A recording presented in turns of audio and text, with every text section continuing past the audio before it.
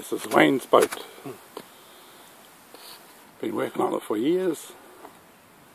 it's now it's now just about ready to hit the water.